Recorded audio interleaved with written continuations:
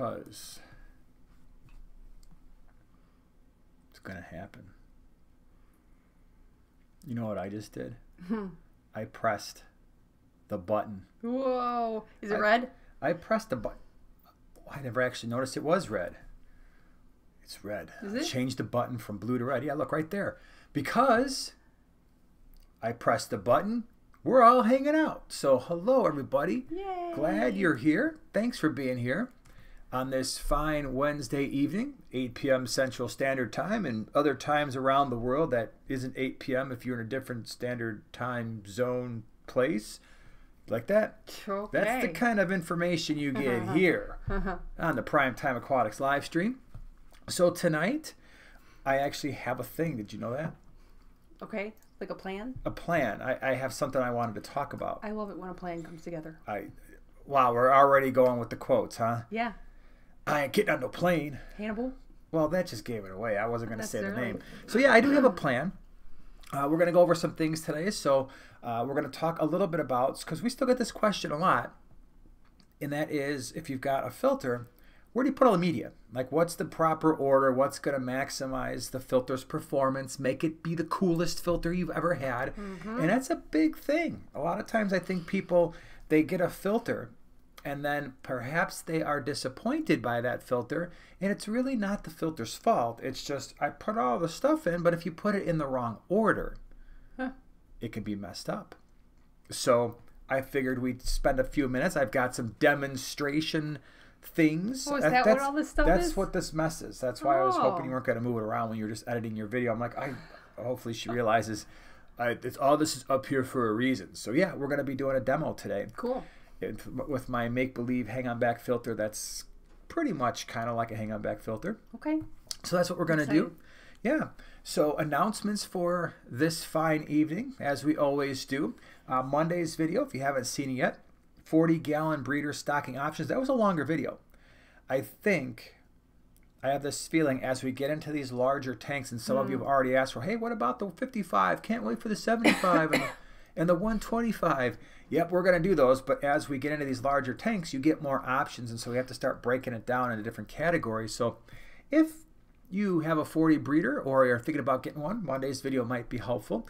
What did you do today? Plant video. That's why I'm wearing my plant nerd shirt. Plant nerd. Yep, you nerded out on plants. Yeah. Well, I've started the series. A lot of people have asked for this. Plants that are suggested for each tank size. So I started off with the little ones, the tank sizes that are less than five gallon. My five plus bonus picks my favorites that I like to use in that size tank. And I had no idea you were going to do this series. And then I as I saw, I'm like, well, that's pretty cool. That's a really good idea. Mm-hmm. You know, we get so used to doing that with fish, fish. Yeah. stocking options. You're uh-huh. basically doing a plant stocking options for different tanks, live plants, right? That's a pretty cool thing. I know. And then tomorrow, you were feverishly working on a video for. So, for those of you who don't know, because I know this gets confusing, so can we just back up a second? The Monday video I reference is on Primetime Aquatics. Your video came out today when I say Joanna's video. That's on her channel, The Smallscape, which Yeah. deals with Nano tanks and plants. nanotanks and plants. Tiny fish. And then you've got your tomorrow video, which is coming out on your other channel, Yeah, my land channel. your land yeah. plant, land thing channel. Yeah, I pulled it out of the small scape Yep. so it didn't get any con- Yeah. confusing. And yeah, so that's what I'm working on. And I do the editing for those crazy videos. which is good for me. uh, so, yeah, the container joy, that container joy, that's your Mm-hmm. No, your uh, no the container joy. the that's small your scape container joy. yeah. So that's your land plant one for tomorrow. Mm-hmm. And then we've got the members only video coming out tomorrow. I think we'll head back down to the fish room because last week we did a sciency thing. So I want to switch it up. We'll be back down in the fish room. Got some stuff I want to show you there. Saturday you've got a small scape video coming out. I do. Yeah. I'm excited about it. Well, actually, and then Friday, we get all these channels now. Uh, Friday on Primetime Aquatics. Are you confused yet? Because we are. one, you know what's going to happen one day? One, and I know this is going to happen. At one point, I am going to release a. I am going to upload a video to the completely wrong channel. Oh yeah, I'm waiting for that to happen too. Like, you know, it will happen to like Container Joy. It was like fish room tour, or all of a sudden you're like Primetime Aquatics head planters. You're like, what the heck is this? Isn't fish? I don't know how to hear, man. This guy's losing it. So, yeah, Friday on Primetime Aquatics, I've got a cool showdown. You don't even know what it's about. no, Nope. And I have a feeling after I do it, you're going to be mad at me. Oh. Yeah, you're gonna be mad because I did a showdown and you weren't in it, and it's probably something that you have something to say. Well, that's what the comment section is for. Yeah, that's that'll be showdown part two. All the things he missed. So we'll see about that. Yeah, so that's what's going. That's blah, blah, blah, blah, blah, blah. so that's what's been going on this week on the channels.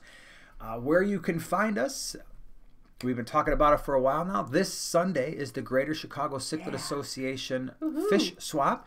Great place to save a lot of money on fish and plants and wood and rocks, and we will be there. Our fish are on the website, primetimeaquatics.com. If you are in the area, want to buy some fish ahead of time, and then just pick them up at the swap, you can do that. Check out our website. And then we got Aquashella coming up in, what do we got? Just over a month, 5 weeks Yeah, about five crazy. weeks away. Orlando. Hope to see you there. It's going to be a really fun time. So looking yeah. forward to it. We were working on booth layout last night and all kinds of stuff. It's it's going to be fun. It's I think it's going to be a fun time. So I hope to see you there. It's going to be cool. So, you got anything you want to announce before I get into tonight's subject? Uh, no.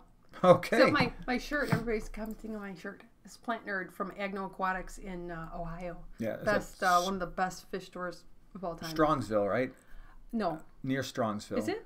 Well, yeah, because that's where the Ohio Cichlid Association thing was, and they Oh, were okay. A few blocks or a few miles away from there. So it's around the Strongsville, Ohio area. Okay. Okay, Okay.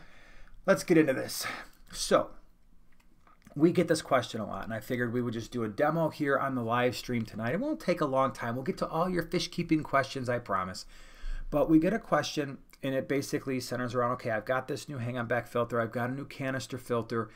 What do I do to maximize its ability to do what it does in a filter in a, in a fish tank, and that is filter the water, make it appear clean, make sure we're getting surface area for nitrifying bacteria to you know ensure that there's no ammonia or nitrite in the tank. And so what I wanted to do is we're going to bring out the fake hang on back filter compartment, and I, I use this. It's just a fish collection container, but just imagine there's an intake, you know, and this is the return. And so basically what I'm doing is I'm using this because it's clear so you can actually see what's going on and how we pack out our media. And this would be pretty much the same thing if this were a canister filter in terms of the way that we layer it. So first thing, a lot of people make a big deal out of hang on back filters and the water flow. And so I want to talk about that first because there's really basically two different ways a hang on back filter is going to move water through the compartment. Way number one is it's going to come in from the intake, imaginary intake. It's going to flow in, it's going to go to the bottom, and then it's going to go from the bottom up to the top and then back out. Okay, so that's way number one. Water flows from the bottom to the top, goes through all the, all the filter media. For the most part, that's, I think, what people prefer. They're like, oh, I like that so much better. The other way, and so the, the filters that do that are basically like your AquaClears and your Seachem Tidals, right? So they're going to flow, water's going to come through the, it's going to go in the intake, it's going to go from the bottom, it's going to flow through the filter and then out the top. So Seachem, Marineland, or, I'm sorry, Seachem and AquaClear come to mind.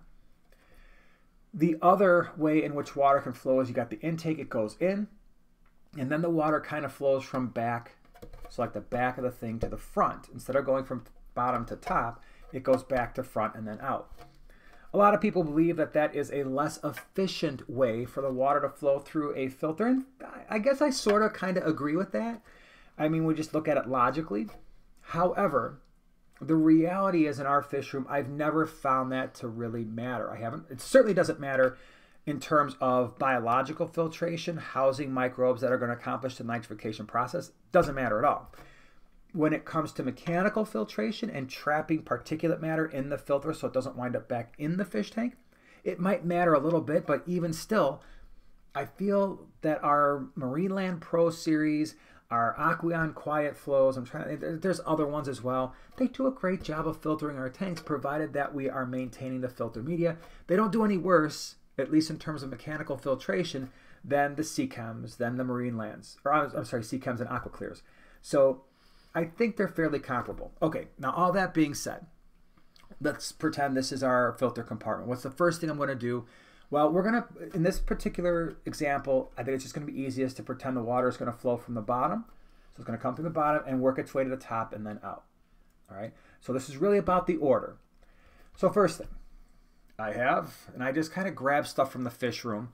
This, we're going to call this the filter sponge. It's actually an intake sponge, but shh, we don't, actually, it wouldn't even matter. We could put this in here anyway, but let's just say this is sponge. Now, when it comes to sponge material, I prefer sponge that is going to have a smaller pore size. So our medium to fine sponge, and you're shaking hmm your head yes, right? Why yeah. don't you like the really coarse stuff?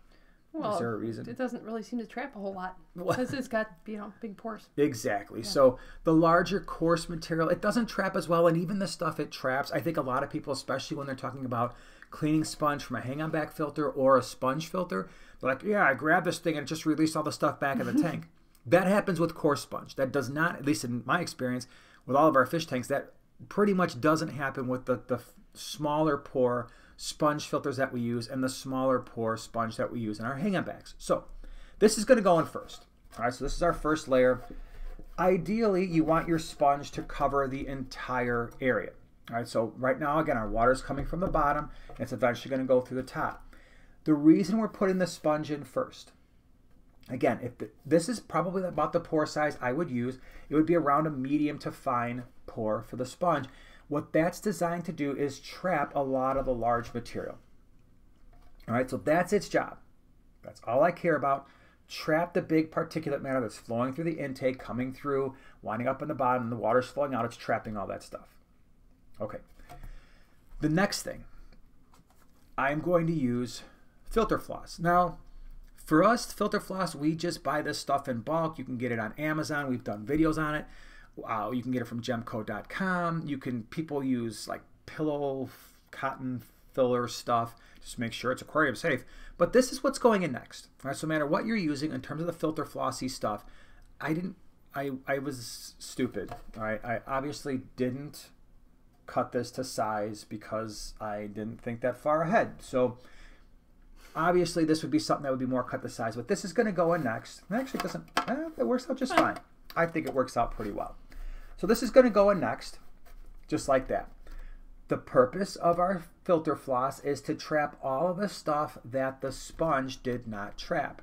So right now, our primary concern, and this would be the same thing if it was a canister filter, our primary concern is trapping stuff from the water column in the filter so our tank appears a little bit clearer. Will beneficial bacteria grow in the sponge? Absolutely. Will it grow on the filter floss? Sure. Will it grow all over the edges and the sides of the filter compartment itself, provided that it remains wet? You bet. Okay, so this is what we have so far. Now, for us, this is where we stop. Okay, this is where we end it because for us, our hang on back filters are really there to trap particulate matter. That's what we care about. All right, so this is going to make the water appear clean. We basically use hang on back filters in our more heavily stocked tanks. As most of you know, we have sponge filters on the vast majority of our tanks. All right, now, if if you were using some type of chemical filtration, so that would be your carbon or your Purigen, and I don't have an example of that, I'm very sorry. That would usually be in a filter bag, that would go next. And then the last thing and you don't have to use the chemical filtration. Like I said, we don't use it at all. That's why I don't have any to show you.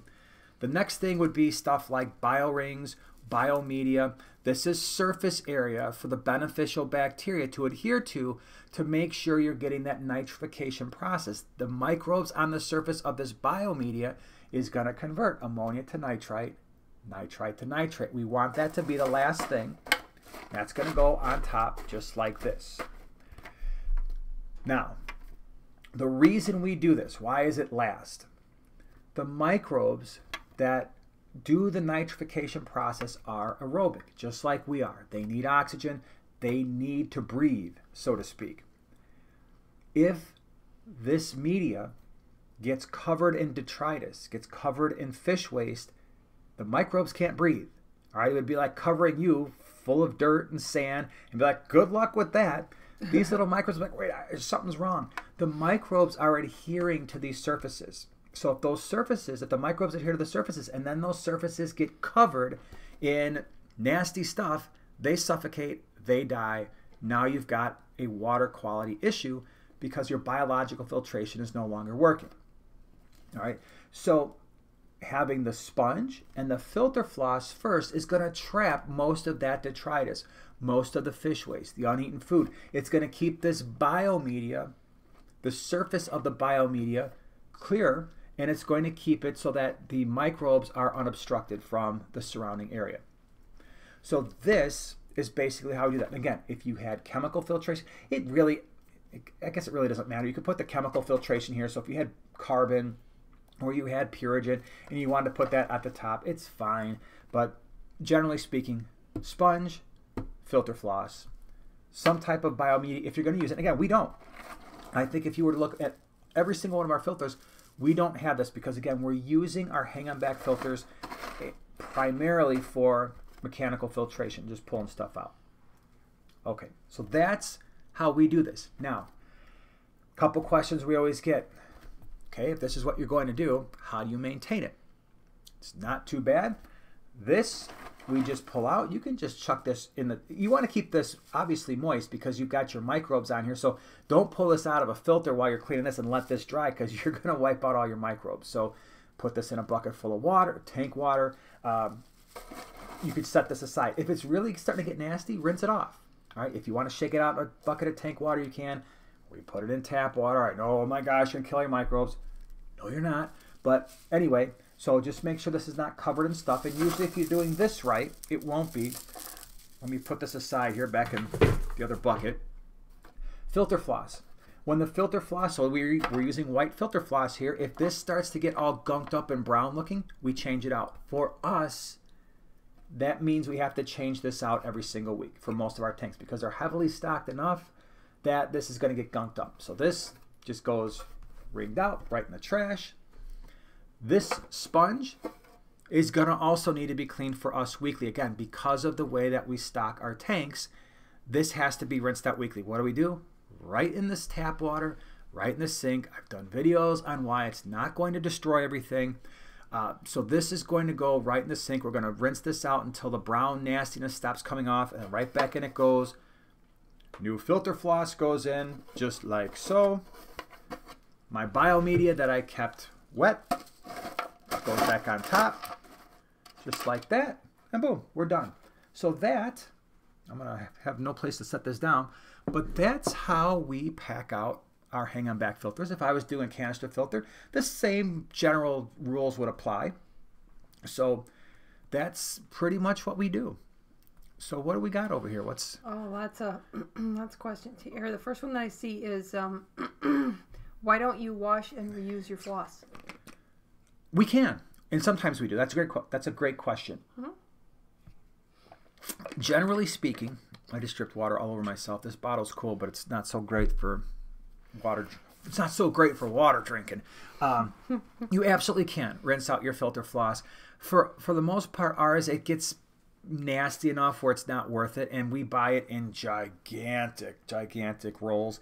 So it's it's just easier for us to kind of wring it out and or and then just toss it right in the garbage. Um, if it's lightly used and maybe you know again I'm not doing a lot of the filter maintenance, but if Luke or Eli, one of the boys, sees that oh this isn't so bad, they squeeze it out, rinse it out, back in the filter it goes. The one thing you have to consider though is if you continually do that, those fibers are going to break down. It's going to trap less and less stuff. So it is going to become a little bit less effective. So great question. Mm-hmm. What else you got? All right, uh, Pete the drone guy. Hello, I just got a Tidal 35. I have the AquaClear nice. 30. How do I transfer media?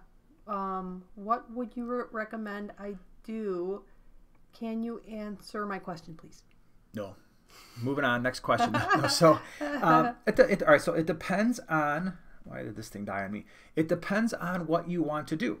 So if you are replacing the AquaClear 30 with the Tidal 35, then I would just put the media in the new filter and just be done with it because the only minor issue you're going to have is the fact that the they're not the compartments aren't quite the same size. So you might have to jam that sponge in there a little bit more, or if you've got filter floss, put that in there. Bio rings, whatever, put that in there. But if you're just doing a replacement, just put the media in the new filter. Problem solved. If it's okay, I've got the AquaClear 30, I've got a, a Seachem Tidal 35, they're going on different tanks. Then what we want to do is we just want to make sure that the media that's in the old filter has been in that filter for at least four weeks. And then you can transfer part of that, whether that's bio rings or the sponge, then you can transfer that to the Seachem Tidal 35. So that's how I roll with that. Okay. Pal Joey, 1957. Hey, what's going on, pal Joey? It's been a little while. Polyester fiber should be placed first in the filter compartment chain. You want to use it as a dispensable mechanical medium and use the sponge as a permanent bed for bacteria. Um, I disagree. And I disagree because when you put the filter floss first, there's no need for the sponge. At that point, the sponge is just really your biological media. So then you don't need the the, the ring. So people do that, and I, I know in, the, like if you got a sump, if I had a sump system, I would probably do that because you're absolutely right because of that surface area. Because you would be those sponges are harder to clean. But when you're talking about a hang-on back filter, I want my sponge to trap the large stuff because as soon as that filter floss gets clogged with large stuff, now your filter shuts down. It slows down. So it's more for me a, a matter of keeping my filters up and running for uh, at least a week, especially in heavily stocked tanks. Uh, and and the sponge is it's it's reusable, right? So you can just go in there and, and, rinse it real quick and then put the media in. But the minute you put the floss first, your sponge is now it's biological. It's not it's not doing anything at that point in terms of mechanical filtration. Mm-hmm. Hold on, I want to answer this real quick. Whips World, thank you so much for the super chat. Whips Long World. time listener. First time commenter? Of course you are. How important is it to keep the space between the base and the sponge of. Hold on. How important is it to keep the space between the base and the sponge of a. Sponge filter. Sponge filter. Oh, okay. Like oh, fish love to bury it. Yes, yes, yes. Um, I don't find it to be incredibly important because it's not like the sponge filter is creating enough suction where it's going to suck the sand up in the sponge filter. Unless, unless you're using a coarse sponge filter. Then it becomes more important because, and that's one of the other things I'm not a big fan of when it comes to coarse sponge.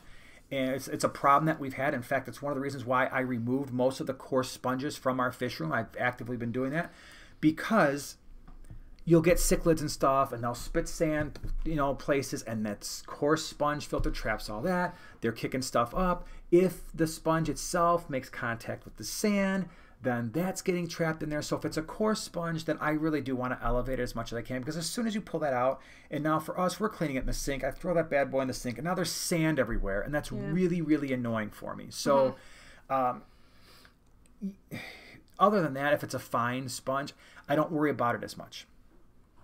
Hmm. Um. Okay, let's see. Oh, and uh, in the house, Mary Page is here. Mary What's Page, up? What's hi. Up? And we've got Wink Master Supreme Forever Man in the man in the phones here, mm. and Dave from Iowa. Thank you very Thank much, you everybody. our wonderful moderators. Fish fan, twenty gallon long member for not one, not five, but eight months. Thank oh, you very much. Yay. I enjoy your channels. Where do you, where do I buy some type of guards for the Seachem Tidal intake tube? So no none of my fry is trapped. Thank you for bettering my life. Well, thank you so much for being here. The let's see, intake intake tubes. You could try from the last time I looked, Flip Aquatics, Flip Aquatics, our channel sponsor, uh, they did have different size intake sponges. The the big thing, the most important thing when it comes to, and I don't care what kind of filter you have, when it and this by the way this other one let me take this out of here again just to show you. This was actually a, a Marineland this is a Marineland Pro um, intake sponge. But the really important thing is that it's actually an intake sponge is that the only opening you have is in the part that's going to go in the intake. This bottom part needs to be closed because if this bottom part is not closed all that's going to happen is the water is going to go through the area of least resistance which is right through the bottom and then the sponge is more or less bordering on useless in terms of blocking stuff that's going to get into your filter. And we didn't really even address that when it came to um, doing that. I like these for exactly the reason that you said, and that is if I've got snails, I've got shrimp, or I've got fry that could potentially be sucked up. I think if you're going to use a hang on back filter or a canister filter, these can be really, really good. So try Flip Aquatics. Um, these are probably sold at Petco or PetSmart. Again, is just a Marineland one. Uh, obviously, this is pretty big, so you'd have to make sure you've got the size right. Where I don't necessarily like these as much is when I'm not worried about those things because at least from for me when I'm cleaning a tank, I find it a lot easier to go and grab the filter floss and the sponge from the back of the compartment than digging in the tank and pulling this thing off of the intake because obviously this is going to get clogged up first right and that's going to reduce the flow of your hang on back filter so what i was finding is when i was using a lot of these or not a lot but a fair number of them in tanks that didn't have shrimp, snails that could get sucked in, or small fry, these were becoming a big pain in the butt. And so I was finding myself having to constantly go in, take these off, rinse them out, just so that I could get the filter flow back to the way it was. So I actually stopped using these unless, exactly like you said, you've got little ones that you don't want being sucked up, then it makes a whole lot of sense. The other thing to consider with the Seachem if you're dealing with fry isn't only the intake, it's the surface skimmer. That I you'd probably have to do some type of a I, I, I don't even know because you'd have to find a way to attach that to the, the surface skimmer without making it permanent so that you could still clean it because that's another where, place where shrimplets and little baby fry are going to get sucked up a little bit. Shrimplets. All right, what else you got? You got something over there? In um, your. Uh... Oh gosh, I did. Oh, here. Um, this is a follow up from uh, your pal Joey. Cool. Our pal Joey. Okay. Pal Joey's been with us a long time, man. I remember pal Joey and I. He, pal Joey doesn't like in, in, uh, hang on back filters because he and I share. well, we share a, a common opinion, and that is the intake and the return mm-hmm. are right next to one another. I know. And so he yeah, and I, really. agree with him. I really like to have. I would love to have an intake elbow and an extender where the intake was at the other side of the tank. I'm with you. I'm with you, dude. Cheers. And somebody wanted to know where your VSCO Girl bottle was. Hey, don't make fun of my VSCO Girl bottle. It's I, in the. Show off what you got. I got oh, that for him yeah, for Christmas. Yeah, this is Christmas. It's so uh, that's why I was actually laughing every time he was complaining about his water bottle. Because I'm thinking that's what you're getting for Christmas. Yeah, I got it's a Harley a Davidson little water. It's glass. it's glass. Uh, the only problem is, and you're going to see this happen all night, is it, it, drips on my on my shirt. So, huh. but that's okay. Maybe you're using it wrong. I probably I'm probably used to the VSCO Girl water bottle, so. But I'm up. I can take it. All right. So wait. Anyway, yeah. Pal Joey has a follow up. All right. If you can throw out 50% of the dirt why not do so? The sponge will still be mechanical going second in line. And greetings from New York City. I hope you're doing well. Yeah, I, I, I listen. I I see what you're saying. I just prefer that the the way that I do it. It's it's worked for us. Mm-hmm. That's just how I roll. Yeah. Cheryl, is there a reason why some hang on back aren't made to self prime? To me, it seems they all should be if the power goes out. Don't get me started on that. Oh boy. Um, yes, I 100% agree with you. I did a video a while back and I said there are two features, at least for us, outside of just doing, you know, test and evaluation. But if I'm buying a hang on back filter for a fish tank that I'm just, I'm buying it because I need it, not to, you know, test it and then do reviews on it. Two things I must have on that hang on back filter. One is an adjustable flow. And I mean an adjustable flow that actually makes a big difference. And so this is not a knock on, well, it is a knock on AquaClear. That little thing, that little hmm. adjustment, it's cool. And they were one of the first ones to do it, I think. But it's not enough of an adjustment for me when I really want to adjust the flow like what you do with the Seachem Tidal line or the Marineland Pros. When you have that adjustment, it will turn it down to a trickle or you can go full blast. And so you've got this really big range. And so I really like that because, oh, you know what? I had in my 20 gallon a bunch of, I don't know, tiny little rainbow, Furcata rainbows, and they were always zipping around the tank and they didn't care about the flow. But two years later, I wanted to put a betta in that tank and some other just slow, chilled out fish, and they can't handle that flow. The nice thing about a filter with adjustable flow is you just turn it down and you don't have to get a new filter. You don't have to worry about it. You don't have to worry about blowing your fish all over the place. So that's a nice thing. It also allows you to use larger filters in a bind on smaller tanks if you need to. So that's thing number one. Mm-hmm. Thing number two is exactly what you brought up, and that is the self priming feature. I really, really like that feature. I like that in the Seachem Tidal line. I like that in the new Marineland Pro series. Not sponsored by either one of those companies. I just like that feature because one, at least in our experience, they've been silent. For every Seachem Tidal that we have, for every Marineland Pro filter that we have, the only thing we can hear is when the water is going through the return and then hitting the top of the tank, you know, the, the surface of the water, you hear that little bit of water running. But in terms of the filter, I have to look in every one of those tanks to see, oh, the hang on back filter is running. Okay, because it's one of the things I do every every every day when I go down there. I'm looking, making sure all the filters are running. That includes the hang on backs. I have to look in there to actually see that they're running because I can't hear them. The other part of that is the self priming feature because one, the reason they're so quiet is the motor is inside the water, right, on the Seachems and on the on the new Marinelands. So with that motor, and also on the Aqueon quiet flows. So the wa- the motor is inside, thus it's quiet, and then you've got the self priming feature. So yeah, if you get a little you know a little blip in the in the energy mm-hmm. and your electricity, we've had filters go down. And that i mean a lot of them. It's not any one brand. I and mean, we've had AquaClear stop working. We've had the old Marineland penguins sometimes go down. I mean, when they've actually been like eight ten years old. Um, the the uh, top fin ones. So I mean, it, it's it's not a it's not a brand thing. It's just that's one of the flaws, if you will, of having the motor outside the tank is, oh my gosh, the filter lost flow, it lost suction. Now some filters will restart, some don't, especially as they get older sometimes.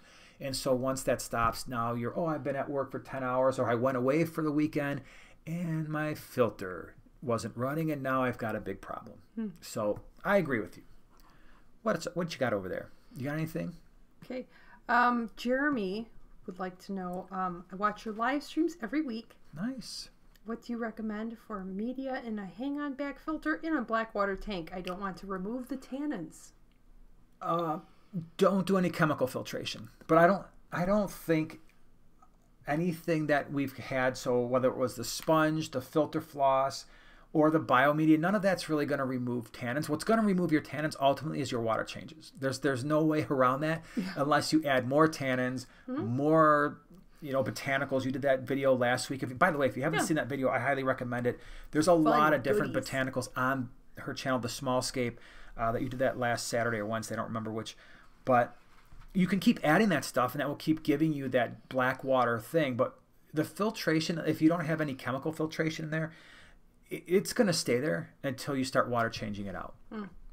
Amanda, member for 11 months. Hi, Amanda. That's one month away from being Whoa, a year. big one, too. Pretty cool. I have Corey's in one tank. The filter gets so gross so fast compared to other tanks.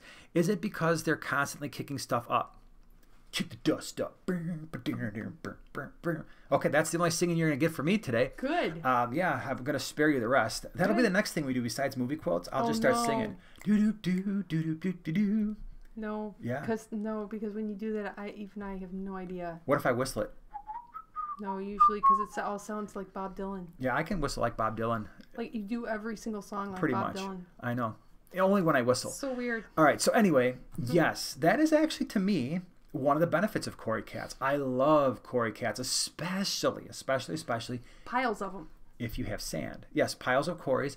But one of the downsides of sand is it, it all the stuff, the gunk is visible, right? And so Cory cats, I love Cory cats. I love some of the cichlids that kind of go through and sift through the sand a little bit. Some of the African cichlids, Geophagus, because they do. They they kick all that stuff up, and then on a hang on back filter or canister filter. It's all going into the intake and it's sucking that stuff up. I like it because you don't want to look at it. So Cory cats are like, you know what? They're like, look, think. Here, you ready for this? Your Cory cats. This is gonna be so cute. They're like little brooms. Aww. Right? They're like little spotted or striped brooms. Yeah. They're just going through sweep, sweep, sweep, side, side, side, and they're kicking the stuff up and they're making their little home a little cleaner and a little Aww. bit nicer for you. And it gets caught up in the filter floss. Like, hey, can you change this for us? We're going to keep sweeping. right? So you can That's see cute. Cory cats like in a whole new, different way. Yeah. Mm-hmm. Yep. They should have called them broomfish. if only they knew. Leo209 Aquatics, thank you for the super chat. Is a ma- ooh Matten filter question? Is a Matten filter in a 10 gallon and a co-op sponge filter too much water movement for a betta in a QT tank till I get my AquaTop 5 gallon Pisces up. Uh, it depends on the water flow. So it really depends on your your air your uh, air pump, right? Because in and of themselves, the sponge filter, the Matten filter is only going to provide the the flow based on the amount of air you're pushing through it. If you find in that 10 gallon that your betta is constantly laying off to the side, it's up in a corner somewhere, it looks like it's really fighting water flow, then yes, it's probably too high. If so i guess the other question would be in the 10 gallon if that Matten filter is cycled in that 10 gallon you don't need the sponge filter because Matten filters have a massive massive surface area but if it's if it's not if neither one of those things are cycled and you're just like oh hey i threw some FritzZyme 7 or something in there i'm looking for surface area then yeah I, you could definitely leave both of them in there or if it's a case where okay the Matten filter's there and the sponge filter was cycled then yeah, you'll probably have to leave. But it's all about the air pump. So if you have an adjustable air pump, which is another thing, just like I like the adjustable hang-on backs, I really like adjustable air pumps because, and you've had those before too, right? Where you can just kind of turn it down and be like, okay, yeah. this is better mm-hmm. because you know this air pump is built for a you know says up oh, to 55 gallons or 40 gallons, like. I'm using it for a five. I'm like, well, yeah, that could be a problem work. as water's just bubbling out the side of the tank. so yeah, that's the story. Um, so Andy Rink is here. Um, you should check out my video that I did last week on some really sweet botanicals from you. Oh, yeah, yeah. That was all. That was all yeah, you. So, uh, quick note: if you see me doing this oh. a couple times, quick story. I don't know about maybe a week ago. No, it was maybe a little longer. Maybe a week and a half. Maybe two weeks ago. I just, you know, like those little no-see-ums, those little bugs that fly around. All of a sudden, I saw one in the house. I'm like, it's the middle of winter. Where'd this thing come from? Then I saw a few more. Hmm. And pretty soon, That's everywhere funny. I went, I'm going, I'm like, what is this with all these bugs?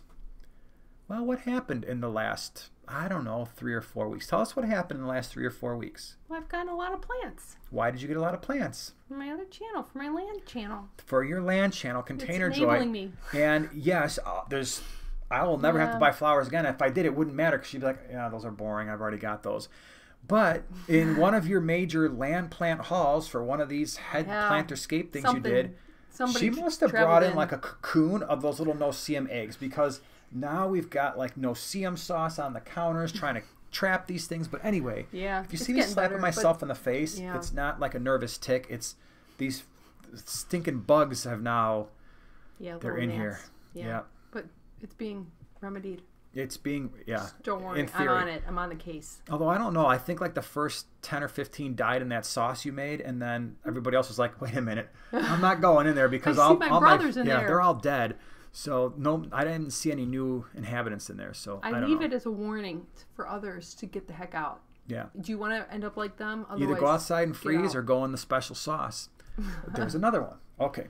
So Donnie G says, Sorry, I got here late. That's okay. It's we okay. forgive you. Welcome. Do you have a video of your favorite hang on backs? Actually, yes. Um, well, I have, like I said, I have a couple of my favorites, and I don't, I've never really made it a secret. I like the Seachem Tidals. I like the new Marineland Pros. I have done review videos on every, I believe, every Seachem Tidal filter, hang on back filter, which is the 35, the 55, the 75, and the 110. Marineland Pros, I've done videos on the uh, 375 and the 450. But, you know, if you wanted a smaller Marineland Pro, the same general rules apply.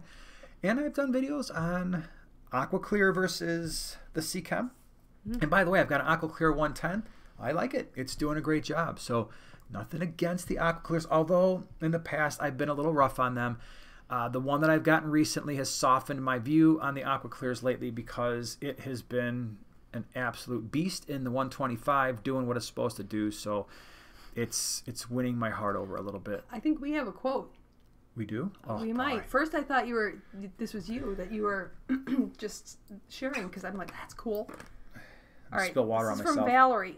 I want to be a professional whistler. I'm pretty good now, but I want to be like even better. Is it a movie is, quote is or is it just Valerie's quote? quote? I don't know. Because Valerie just might want to be a professional whistler. And I feel that if, if that's you. Because then you'd have to be up there I've with never like heard of Bing a movie Crosby, like that. Because he was pretty darn good. Aqua Garden Zen, and I, I just have a feeling they know fungus gnat. That does that sounds Yeah. nasty. Fungus gnats? Yeah, or Is that what they are? That's what they're called. Or I don't um, need these in my life. or um, they call them. Uh, All right, anybody have yeah. any any uh, advice? Like, cause Yeah. she just put out some like Well- sauce poison for him, and I did. I smash them when I see them. But this is getting a little. It's ruining my life. I have heard like neem oil, but I just want to make sure before I, I start spraying it on plants, and it turns out that they Oh, really yeah, like them. Like if you have them already, don't use it, sort of Yeah. thing. But yeah, and then I'm gonna get some other sticky tree things, and it's just gonna be it's gonna be fine. It's all gonna be good. I'm gonna take care of it. Uh, yeah, I don't know. Can Can you give us some advice? How do you get rid of Oh, those little no Somebody said stepbrothers. Oh, is that what that is? Okay, I haven't seen All the movie in a tell long me time. though. Tell me which one wants to be the professional whistler. Is it Will Ferrell? It probably is, right? Probably. I don't know. I haven't seen that movie in such a long time. know, Kalina I- says that her mm. Cory cats, panda Corys, are currently doing the dance. That's the Oh, we're going to make baby little Cory babies. ca- Oh yeah, my gosh, baby I don't think are I've so cute. actually ever seen. I showed you the albinos when we bred those. Remember? Then they all fl- no, they you- all came out of the breeder box. Or no, I didn't show You- you. I said we had them, and then you we went down there. Yeah, and then by the time I was there, they were not there anymore. Yeah, yeah, they all kind of just jumped that out would and be went so down cute. the I don't thing. think I could like even handle it. Yeah, No. yep, that's that's Can true. you imagine baby pygmy cories? Yeah, I can imagine them. They're small. All right, let's see. Karen K at Primetime Aquatics, did you Hmm. find that the Marineland Pros didn't fit well on the tanks? I tried a 450 on a 75 and it wouldn't sit level. Actually, that's a really good point. Not so, I didn't find that to be an issue. What I did find, what is an issue, and I don't know how this is going to be remedied. I, I really don't know because it's a problem if you are like uh, uh, meticulous about your tanks and the way that they kind of appear. The one drawback of the Marineland Pro series is the internal filter. It's it sits like right. It sits pretty high, and it's it's fairly thick. So what winds up happening is if you have standard glass lids on your tank, I have yet to be able to push the glass lid all the way back and have it completely rest within the frame. It sticks out and it's not far, but it's like I don't know, maybe a, a third of an inch, three eighths, maybe yeah, maybe it's about three eighths of an inch. It hmm. just rests on top of the frame in front. So if that is something that's going to bother you, then then you'll probably want to look at the Seachem. That's a good point. I'm glad you brought that up. It doesn't bother me at all because it it's it I don't really notice it, but it is. And like I said, I don't know how they're going to fix that because unless they can just make the housing smaller, it's just what it is. But not this way. I have never had an issue with it uh, not leveling out. We've got, like I said, we've got the 350s, the uh, I'm sorry, the 375s, the 450s. We've had them on 75s. We've had them on 150. I have them on 150s. Haven't had a problem. All right, I'm gonna grab a couple questions, and it has a theme. Let's see if Okay. you can guess the theme. Oh boy. All right. So this question is from Jason Holmes. Plant nerd, yes. Biological explanation nerd, not so much. I agree. Okay, that's funny. um, now this this question is from uh, Jason Peculiar over the pond. Good morning, by the way. I think it's probably like two three a.m. Yeah, there, morning to you. Scotland. Top of the morning to you. Huh? Huh? Okay. I have a bare glass tank with only a sponge filter and a heater in it. It houses some CPD fry and it's super cloudy. It has a twin tank next to it that isn't cloudy. Any tips? Well, I always start with water parameters. So obviously that is one thing. If you've got two tanks that are exactly the same, set up the same, and one's cloudy, one's not, just check your water parameters. Make sure you've got no ammonia, no nitrite. You know, nitrates aren't going through the roof. Uh, that's that's where I start. If those things aren't happening, and the fry are doing okay, then I don't tend not to worry about it as much. We have in our fish room, we have a, and I mentioned this I think last week or the week before. We have a tank in our fish room. It's our Blue Dream shrimp breeding tank.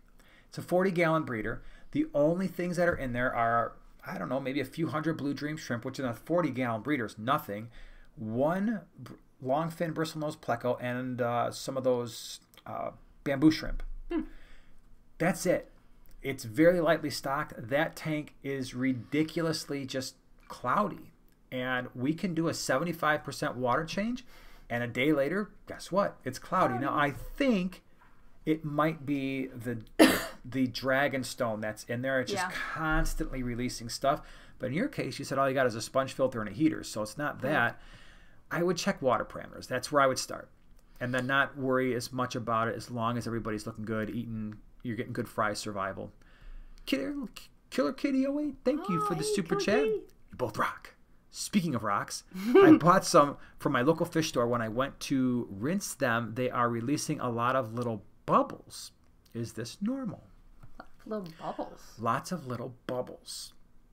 I trying to think if we've ever had that happen where water so you're rinsing them and so are you soaking them and they're releasing bubbles because that can be normal yeah they can especially like the dragon stone the Seiryu mm-hmm. stone i've noticed that stuff can release a ton of trapped air once you put it in water and just that pressure it forces bubbles out so that could be what it is that's if it's just plain water that would be my guess as to what it is it's just once you get the water pressure in there especially in Seiryu stone and, and dragon stone it just forces air out you get some bubbles, a little bit of bubbles.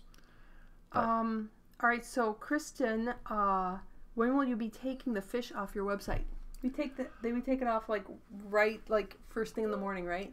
Uh, on Sat on Sunday, yeah. So Right. uh, you're referring to the swap. So the Yeah. fish that are on PrimetimeAquatics.com that are for pre-order for the swap, we will leave them up until Sunday morning. Basically, we wake up Sunday morning at like 4 a.m. We make sure we don't have any more orders that came in on Saturday night. The first thing I tell Joanna to do is shut the, you know, pull all those things down off the website so that we can make sure that we didn't get an order after we bagged all the fish and we're on our way to the swap. So they will be up until Sunday at probably 4 a.m. or so. Yeah. Oh, and FYI, anybody looking for uh, botanicals, Rink is going to have a table Oh, cool. on Sunday. Yeah. So all those cool things that you featured are going to be there. Yeah, Yeah, those are. It's cool. There's a lot of stuff, like I said, I didn't realize I know. The world of botanicals. No idea. Whips World, remember this, all of you. Nothing counts so much as blood. The rest are just strangers. I don't know, dude. I think I'm only good at movie quotes that of movies I've watched and I like watched multiple times because Well, now the pressure's on. I'm freaking out and I don't would know. have to watch a movie to know the quote. Do you though? I think so. I mean, generally. I don't know. So wait, what? What is the Say hello again? to my little friend. I don't think I've ever seen that whole movie. I don't Oh, even me remember. neither. What is that? Um, isn't that That's the one with Al um, Pacino and it's not. Al Pacino? Yeah, Um, I know that movie. Scarface. Yeah, it is. I've never and I, I'm never seen ashamed. it. I've never seen that Never movie seen and I know one? that. Taxi Driver. Never seen it. That's another big quote from there. Like, uh, Same you talking quote? to me? You talking to me? Yeah. Oh, I thought you meant the same quote. No, In Taxi Driver, they say, "Say hello to my little friend too." No. it's his taxi. Run somebody over. No. Hey, you got that from another movie. All right, let's see. Wait. Um. Okay, so Valerie's saying, I can only hope to be a professional whistler. I am probably just slightly better than that silly lemur King Julien from Madagascar. Ah, oh my yes, gosh! yes. If you missed my comment, Say yeah. hello to the New York Pansies. That's right. King Julien. King Julien, Yeah. so fun. Oh my gosh, we love watched. Madagascar. We watched that movie a lot of Oh, times when the boys Marty, were Marty, little. Marty. The only movies that we watched more were Cars. Cars. the- the- and uh, was there any others that we watched more than Madagascar? Cars, definitely. I mean, I've, I've seen the movie Cars at least a few hundred times because that was all they wanted to watch. back in the day, we did watch Open Season a lot, but then that one. I that- didn't. that I, I wasn't. Yeah, I Funny wasn't Bear. a big fan. Luke would call him Funny Bear. Yeah, I usually left the room. I just didn't. I wasn't a big funny fan. quotes from that movie too. Let's see here. Gaming and fish keeping is the stock Tetra Whisper IQ 10 sufficient filtration for a 10 gallon tank? Yeah. Any, I am of the opinion they're not all the they're not all the same in terms of their quality and how quiet they are, and they all you know filters have different features. But I am of the opinion that any filter that is rated for a particular volume is more than sufficient, certainly for biological filtration, which is by far the most important. Right. So creating space that's going to allow you to have surface area to house the beneficial bacteria, if it's rated for that, and even if it's not, usually the size of that compartment is far larger than what you need for most tanks. Of you know, so if you've got one that's rated for a 10 gallon, I, I put hang on back filters that are rated for 10 gallon on like a 40 breeder just to keep water flow and never had an issue with like an ammonia or nitrite spike. Now, that being said, the mechanical filtration, it might not have the flow to get enough water through in gallons per hour to suck the stuff out of the water. But for your case, yeah, if that thing will be more than sufficient for a 10 gallon tank. Hmm. So, all right, Pal Joey, let's see if you can let's see if you can get this movie quote. Oh boy. I came to Casablanca for the waters. That sounds like an old movie. You get it then. All right. This this okay, so this does everybody understand now what I deal with? The name of the movie was actually in the quote. Casablanca. All right, yeah, that was what I was going to say. He doesn't appreciate fine music or fine I think I was from the the fantastic I, era known as the 30s, 40s. Oh, what happened to our light? Okay, oh. hold on. It died. We're gonna have to go to oh. backup oh. light. Oh no. Yep, sorry. Cold lighting. Ow. Okay, so. Yeah. See, that's what uh-huh. happens when you make fun of me. The light goes I out. I was making fun of you. Yep. Anyway. Oh, Abigail s- says Cars was my brother's favorite. Oh, that's still cool. is our favorite. I yep. love it. That's very cool. When the boys move out and stuff, we're just gonna watch it all the time and cry. Well, you're gonna cry. That's what I'm gonna do. Don't don't lump me into your crying. Let's see. Ooh, uh, let's see here. Uh, fish TB, mycobacterium prevalent in the hobby? Question mark.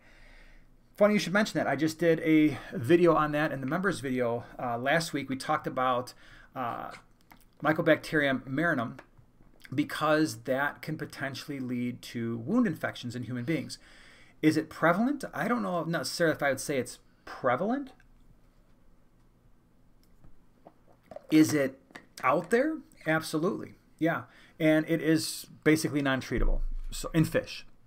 So if, if you wind up with a fish with TB, what's going to wind up happening is it's going to slowly wither away. Uh, antibiotics, the ones that we have for fish, generally don't work. So unfortunately, what that means is if somebody has TB in a tank, you really want to try to isolate that tank if you've got other tanks um, because it's yeah it's not a good situation now if the like when we talked about it last week in the members only video mycobacterium marinum if it infects a wound the prognosis is very good right it, it's very rarely ever life threatening uh, even for immunocompromised people uh, generally it kind of looks like it blisters over a little bit uh, antibiotics are prescribed but the antibiotic treatment is fairly extensive for human beings it can last months and months so but in fish it's pretty much non-treatable. But I wouldn't go so far as to say it's it's prevalent, but it's mm. out there. Mm. Matthew Matthew does stuff. Had to go. Bye, Matthew. Bye, Matthew.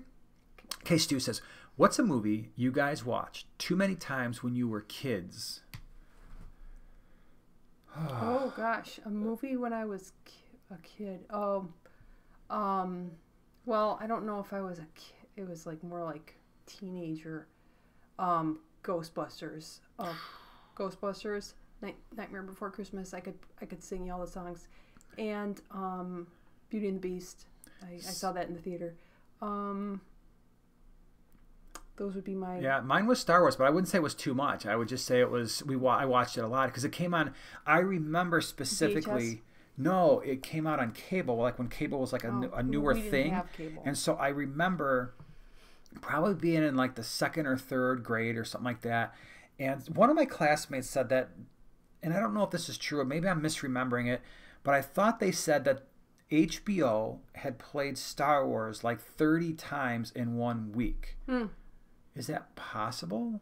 Yeah, so yeah, it um, because that would be what like four times a day. Yeah, but I I, I know I saw it a lot when I was a kid. As a I know I was a kid when um, uh, It's a Wonderful Life when they then the uh, what is it the copyright issue or something like that when it went um, it lapsed so that they could play it on TV and they played it on TV all the time. I watched that. Yep. Tons. Lumpy dog. When the lights go down in the fish room. Yep. Nice. We fixed it. That's right. We fixed it. Mm-hmm. Oh, Monsters Inc. was the other one that the that oh, was the one that the boys watched a lot. But yeah. I really like even more than Monsters Inc. I like MU. Monsters University, which is Monsters 2. I thought that was a great movie. Really funny. Cute. Mike Wazowski. Mike um, Rink says on your website you show the GCA GCCA is 10 a.m. till noon. I believe it's till 1. Yes, but we um, Just for pickup, yeah, fish pickups. pickup. We want them picked up by noon because if we have a no show, then Mm-hmm. I don't want to bring them home, and I'm going to sell them. Yeah. So Mm-hmm. that will avoid restocking fees for the person who bought them and didn't show. So, okay. Amanda says, well, no, she was talking to somebody else. Never mind. Uh, Delta Charlie, good evening. Do you have any tanks where hang on back doesn't provide enough flow? Do you use power heads anywhere? And I knew both of those quotes before you said them Scarface and Taxi. Well, how about oh, that? Oh, the okay. So did I say Scarface or did I say? Uh, well, we you you Did mentioned them. Yeah. I did. Did I, did I get that one right? Yeah. So to answer your question, do we have any tanks where the hang on backs do not provide enough flow? No, only because what winds up happening is when I have a tank that's at least four feet long, I do doubles. So if I'm doing hang on back, so if I was doing exclusively hang on backs for a tank that was four feet long, I'd have two smaller ones as opposed to one larger one. For sponge filters, I have two sponge filters on either side. Where it gets a little tricky is the the four or the uh, 40 gallon breeders that are three feet long, because they're kind of like they're not quite four feet. It's like if you do one hang on back filter, you put it in the center, then you're fine. But no, I don't. I don't use any wave makers, and I have. I'm trying to think of if, if I've ever used a wave maker in our tanks. I don't think I have. I think I've had them in the fish room. I can't remember ever plugging them in. That being said, we ha- we do use a couple of internal canister filters, and those bad boys are basically behave like wave makers, but just with a filter compartment connected to them. Mm. So, yeah. You bumped All the right, I'm microphone. sorry. I'm sorry. Probably Raymond says Kung Fu Panda. That's a great movie. Kung Fu Panda. My Panda. dad likes that one too. All right, here's a quote that I think you're going to get. Whips World, you're being really nice to him. You're going to get this. I'm probably not. Oh, yeah, you will. Yeah. Yeah, you, you'll Okay. get it. I'm on a bad streak.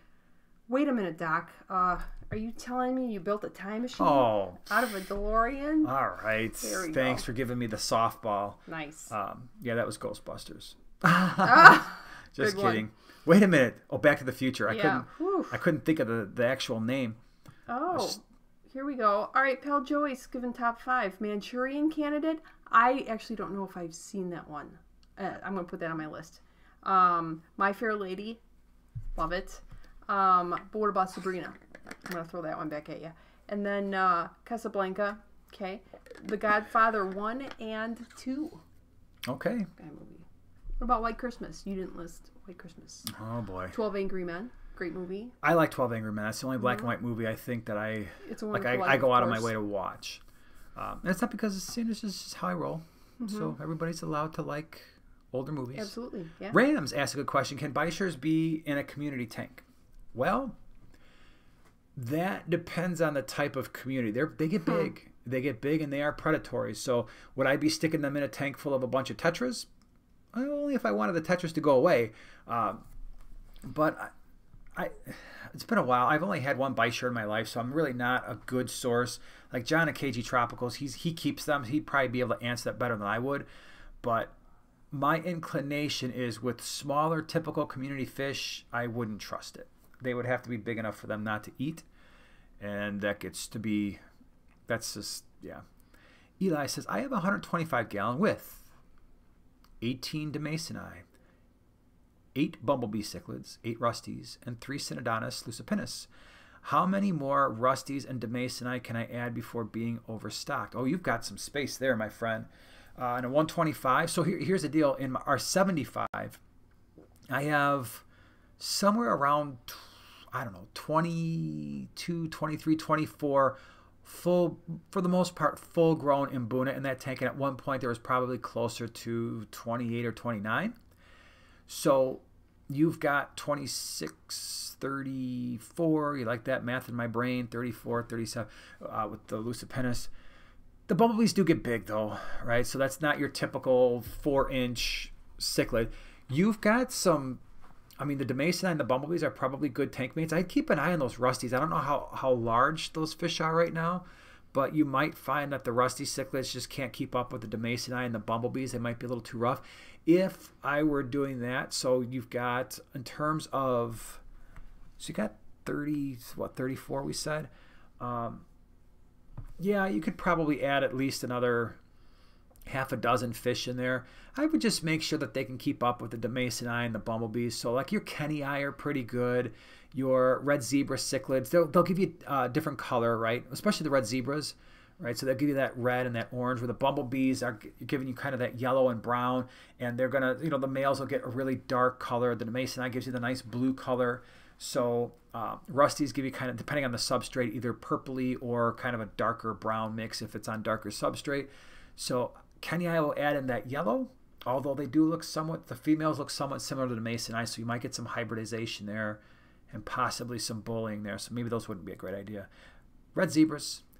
I hesitate to say the Auratus because, oh my gosh, you know, everybody knows me. the Auratus cichlid is just not my friend. I don't like it. Hmm. So, okay. What you got? Oh, Raymond said Megamind. I didn't get Megamind. that one. Megamind. Yeah. Yeah. YOLO. I remember that. Uh, there was a question I was going to grab. Um, well, hold on. Let me get the super chat here. Brislin76, thank you so much for the super chat. 40 stock video was awesome. Thanks. For the schooling group, could you do six Danio and six Neon Tetras? Could you add Blue Dream Shrimp to that community?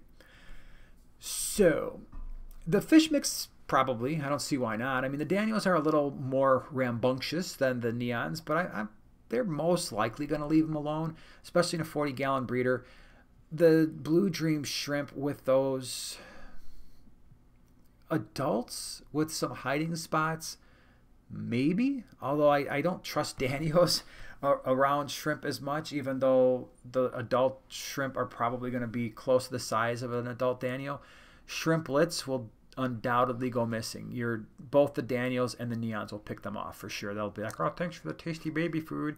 um, shrimp dinner. Yep, shrimp little shrimp dinners. So it just depends if you want to take that chance and if you got a ton of hiding spot. You know, so hiding spot meaning, oh, I've got a bunch of cholla wood in the tank, or I've got a bunch of Java moss, or some really heavily planted stuff. You'll get higher survival rates. What's up? All right, so um, this comment is from Oinkmaster Supreme. Forever. Cool. Mycobacterium marinum is no joke. Please take this seriously. I contracted it, and because I have lupus, my complications were very bad, and I will never fully recover from it. Don't panic.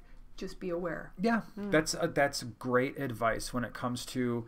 And, and one of the things that we talked about in that video in the members only video last week is check your hands. So when you're when you're going to do any maintenance on a fish tank, if you've got cuts or scrapes or open, you know, not stuff that hasn't healed yet, is it do you really need to go into that tank that week, right? Do you really certainly don't be picking around in your hang back filters or grabbing your sponge filters and getting all that stuff in there too. But it just takes two seconds. Make it a habit. Make it that thing that you do. So when you're doing tank maintenance, most likely you're like, okay, I'm going to unplug the, the heater, I'm going to unplug the hang on back filter, and I'm going to just check and make sure I don't have any cuts on my hands. Is it a super common infection? No. Uh, we talked about the incidence rate being, uh, and members will probably have to correct me, but I think it was like one in, it was like 0.27 per 100,000 people. So it's like one in 300,000 people will contract it and half of those people contracted it via fish aquariums.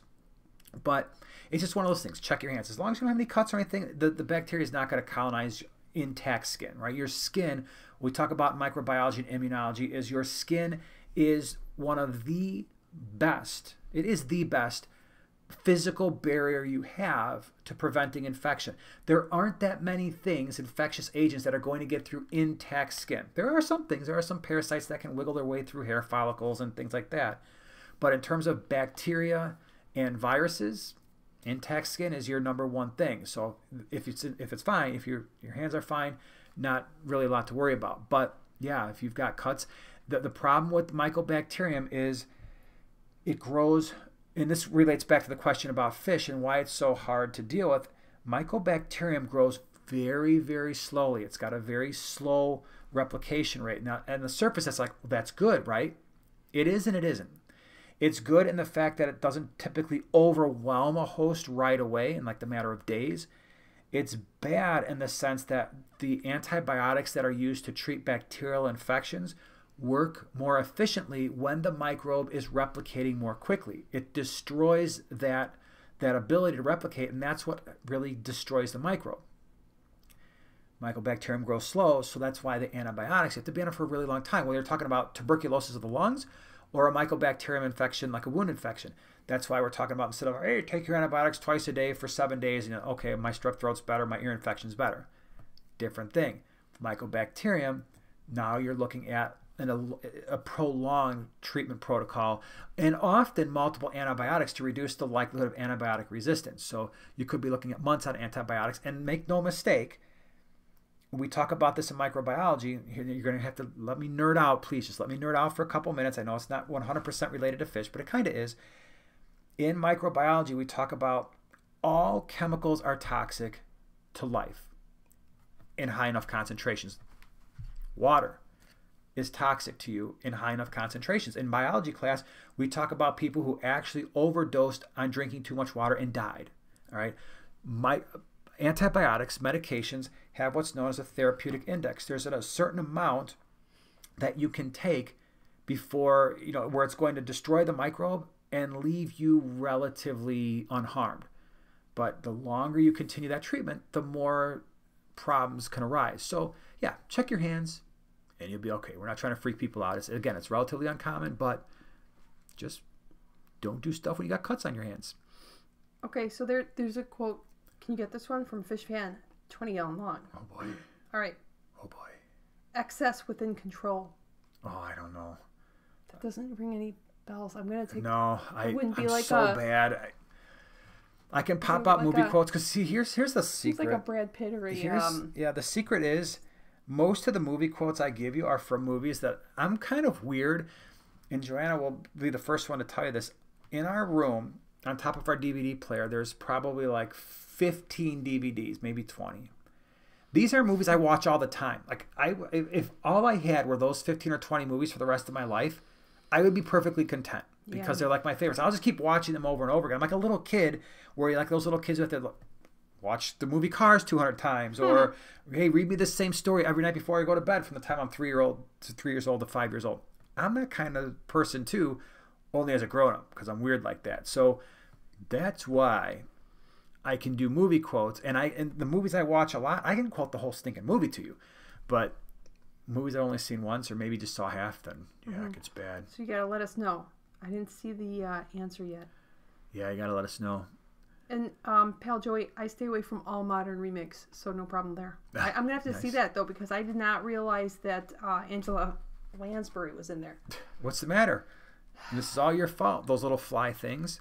Can anybody see them? Like, can you see them? I'm just curious. Can you see it like when they fly like right by our face?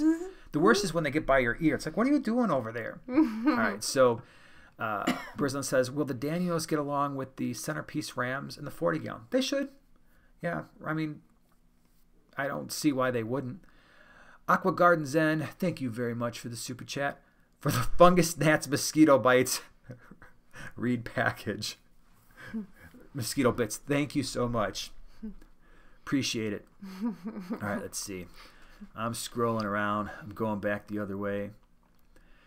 Okay, Stu, I have my hands in my tanks, hand feeding huge cichlids for about an hour at at a time every other night. I was I was my hands three or four I wash I must I wash my hands three or four times after very hot. Still my palms get itchy sometimes, but it's fine. Yeah, like I said, as long as you're skin is intact, usually it's not uh, not much to worry about. David says, "I love my brilliant green pea." okay, wait, I just said that out loud. I was thinking brilliant green raspberries. We're just yeah. gonna go with that. Brilliant green. Like you meant to say brilliant green raspberries, and like the P mm-hmm. was supposed to be an R, and then you accidentally hit enter. You're like, oh crud! If not, you just made me say something really funny. Congratulations. All right. Let's see. Uh, David says, "Oh, here we go. Do I need to run CO2 with a with a having a pretty heavy planted tank? I run root tabs and liquid fertilizer. Is that enough with uh, OK light? It depends on the plants. So if they're mostly your low to medium light beginner plants, most likely you don't. I mean, we don't run CO2 in any of our tanks, and so we've got Anubias, we've got Crypts, we've got Bacopa, we've got Hornwort, we've got Guppy Grass." We've got all kinds of stuff. I'm just, I don't know, jungle val, corkscrew val, micro sword. Uh, what else do we have? all the different types of Anubias.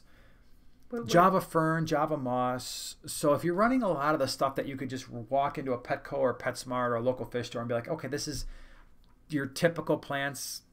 They don't generally need, I mean, will they grow a lot faster with CO2? Sure. But do you need it? No. Not usually. What you got? Right, this is this is a quote. I, oh my gosh, it's boy. like no, you're gonna know it. no, I'm not. Yes, I'm- you will. I'm really No, down on myself. You don't understand, everybody. No, you got to start feeding Web. me some Well, softballs you can do here. this. This is, but I just um, I, I, it's like zooming right past me. I know it. I can't use this water bottle live stream anymore. I'm getting half the water on my shirt. I think. Are you ready? Yeah. Whoa, whoa, whoa! Nice shooting, Tex. We know that. We do. Yes. I shoot. Ghostbusters. Okay. Well, see, you watch Ghostbusters a lot more than I I have. knew I knew it. Lately, I've only been watching it when you make me watch it because I watched it too much. Oh no, you can never watch Ghostbusters too much. Killer. Kitty 08 says, "Remember to catch Joanna and Jason's attention. Put the at Prime Time Aquatics in front That's of your right. question, and it will be highlighted for Mhm. them. That, For that's their true. Old eyeballs. That's right. Because most of you know, if you've been on these live streams for a while, my eyes are not the best, and uh, yeah, sometimes I misread things. Like what was the one? Uh, somebody will remind me. The um, fernfish. Fernfish. Yeah. Fernfish. Yeah, went on about 20 minutes about a fernfish. Had her look up the fernfish. Didn't even say fernfish. So yeah. Yeah. Uh, let's see here. Snowball says, "Can you do a step-by-step video for aquas- aquascaping? I am very bad at it and need to learn more. I have a 20 tall I need to do, but do but I don't know how to take up the vertical space. So, you do not under any circumstances want me to tell you how to aquascape. if you don't believe me, go back to the videos of fish room tours in 2017 2018 go back and watch especially the videos where i updated this tank and you're going to be like uh, dude that looks like the before the the before was really horrible and now the after is just slightly not horrible Piles of rocks. yeah the one that you would want at least out of the two of us is this one over here and she just did a video about that um, I did, but it was. But it just was a tiny tank. It was just a tiny tank, so not a whole lot of uh,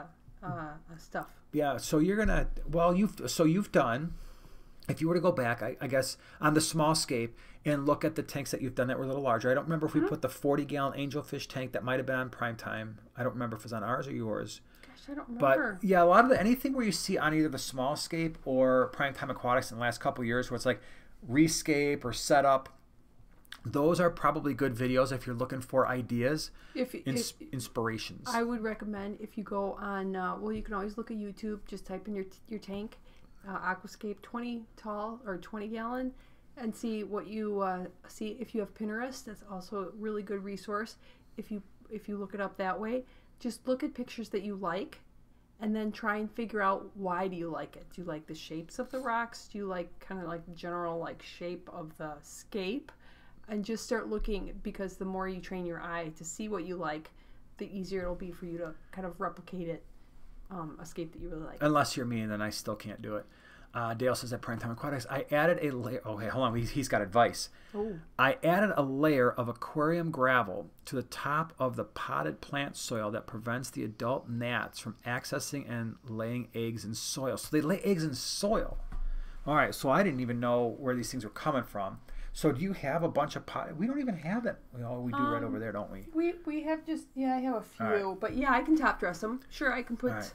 I got lots of gravel. Do it. All right, do because now all these things are probably if we get overrun i'm going to be really really sad. Uh, chris r thank you so much for the super chat. My betta has like a white bump cottony thing near its gill and i see him flashing and scratching. Tried api general cure and Prazi pro no luck. Most likely if it's fuzzy cottony it's probably a fungal thing going on in which case the API General Cure, which I believe is metronidazole, isn't going to work. The Prazi Pro didn't work. Two things with that. One, especially when it comes to fungal, if it is a fungal infection, and this could, still could be bacterial, temperature plays a role in that sometimes if it's fungal. Sometimes if the temperature gets too low, the fungal infections have a little bit easier time colonizing fish. So just make sure, especially for a betta, I'd like to keep them around 78, 79, somewhere in there, in that range. The other thing that you could do is, I know Fritz has a, um, what do they call that stuff? Fung, fungal guard, fungal something. They have a antifungal. If you go to fritzaquatics.com, uh, you can check out. They've got a, an antifungal I don't remember what the brand name is though, but that may be helpful. Um, if it's got it, ha ha ha. I think it's the same one that's been harassing us all night. I'm pretty No, sure. He's got a friend over here. Okay. Um, yeah, so you could try that. Antibiotics, maybe, but I would go the fungal route potentially. Let's see. What else we got here? Dustin, is the vinegar test an adequate way to determine if an outdoor rock is safe for aquarium use? I don't think so. Uh, and there's two reasons why. One, I don't think the vinegar is a strong, it doesn't react strong enough to what you're looking for. Uh, the acetic acid tends to work better. Two, when way back in the day I was doing these tests on rocks that we had collected from rivers and creeks, we dragged all these things home like, all right, I'm going to run the acetic acid test, and I would do it, and I'd get all this bubbling. I'm like, oh, these these rocks are no good. Yeah, they are. They're perfectly fine. The only thing that test is telling you is that it's probably going to alter water chemistry if your water is on the softer side and has a lower pH. Because I can tell you right now, all a lot of the rocks that we would do, if I were to do that test, they would bubble and I'd chuck them in our tank and they do zero to our water chemistry. Why? Because our water is already at around a pH of 8 to 8.2 and our KH is already at around 10 degrees, which is around 180 parts per million. And so if I add stuff like flagstone, if I add river rocks, if I add pretty much any rock that's relatively safe for an aquarium, it does nothing.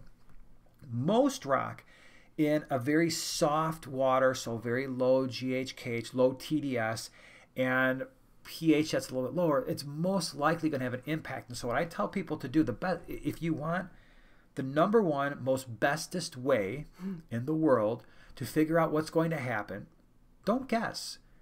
Get yourself a 30 gallon tote. They cost like seven or eight bucks. Run to Lowe's or Home Depot or Menards. Get the hard black plastic totes. They're about 20, I think they're 27 gallon with the like the yellow top. Fill it up with water. Throw a, a air stone in there or a sponge filter. Chuck your rocks in there. Test your water before. Wait a few weeks. Test it after. Right? I mean, it's going to take some patience, but put it in the garage somewhere. As long as the garage isn't freezing, you come out there, the whole thing's frozen. I'm like, Yep, you're trying to stick the little tester in there on the ice. Like it's not working, man. But do it that way. See what it what is it doing to my pH? What is it doing to my GH? Is it doing anything to my KH?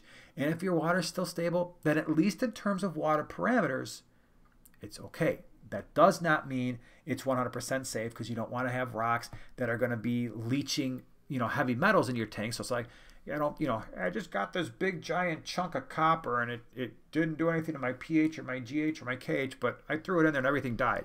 So just be aware that that will at least take care of those issues for you. Oh, he landed right on my face in the middle of the live stream. I'm getting that thing. Mark my words. The minute this camera goes off, Gravel. I. We're gonna put we're gonna put gravel. That's not going to stop him from hitting me in the face. What are you gonna do? I'm gonna get them. I'm gonna I'm gonna get medieval. Okay. Yep. Okay. That's what's gonna happen. Those those gnats are going down, and they're going down tonight. And oh yeah, if I Alright. have to chuck all that poisonous sauce at them like midair, it's happened. It's game on. Okay, you ready for a quote? You should get this. Oh boy, If you I've don't- I had a horrible See? luck all night. Okay, don't you My love it? confidence is down. You like this is this is all he does all day is quiz, quiz, quiz. Not all so how do you like it? Yeah, pretty much. All right, you ready? You should get this. I'm a precisional instrument of speed and aromatics. Oh, um, I've seen that movie. Speed. Aromatics. I, I I can just I can even. It's Mater. Oh yeah, yeah. Tomater without the tuh. Thank you. Thanks. That's a good one. That's a good one. Uh, let's see here. Hold on, I had one. I had one that I wanted to answer, and then the movie Oh, here was a. Uh, oh, I did. I did. I don't know where it's at, but the, uh, there's a question. Somebody was getting a betta for the first time. A What's- beta. Uh, what's a good uh, tank mate? Let me see if there was a Lydia. This was Lydia. Okay. Um, can't decide on a tank mate. What would you recommend for a 10 gallon? so Betta one, buddy. yeah. So one, we did a video. I think it was called Beta Buddies. Betta Buddies. Um, where we actually broke it down by tank size, and I think we assumed for the most part it was going to be in a 10, 5 to 10, 20 gallon. So we did a whole video on it, uh, which will be helpful. Uh, not that we won't answer your question now. In a 10 gallon, we've done a number of fish. Uh, we've done ember tetras, we've done gold tetras, we've done mystery snails, cory cats. Uh, not in a 10 gallon. Um, pygmy cories might work in a 10 gallon. White clouds, I. The, the only issue with and we've done that combo our water was basically at around 76 or 77 in that tank so it was kind of like upper end for Oh, the white clouds yeah. lower end for the beta so um, most of your your smaller tetras like your embers your golds Neon your tetras. neons green neons standards black neons those will all work for the most Mystery part snail. you never know 100% right in a 10 gallon Mm-hmm. because you could wind up with a situation where the bed is like yeah i'm going to just chase these fish around and torment them. Or you could wind up with a situation where you get a couple of you know a bad bed of buddies like a couple of gold tetras like "Ah, you know what? I don't know what it is about that juicy red tail but i just think i need to chew on it. So you never know 100% of the time. I've always said you'll have better luck keeping those fish with bettas if if the fish are decently well fed. They tend to fin nip a little bit less. In our experience let's see Somewhere in time. Oh, I don't know that one. Hmm. all right let's see i'm scrolling around here Oh, okay.